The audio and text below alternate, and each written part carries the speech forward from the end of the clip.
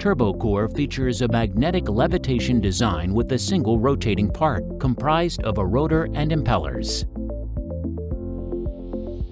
The rotor is levitated by permanent magnets, while multiple radial and axial proximity sensors sense the position of the rotor, and electromagnets maintain the shaft along the center of orbit.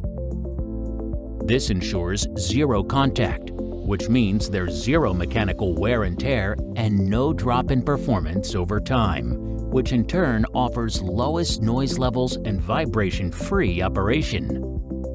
Turbocor also delivers the highest pressure ratios amongst centrifugal compressors designed for air-cooled chillers, thanks to the two-stage compression cycle.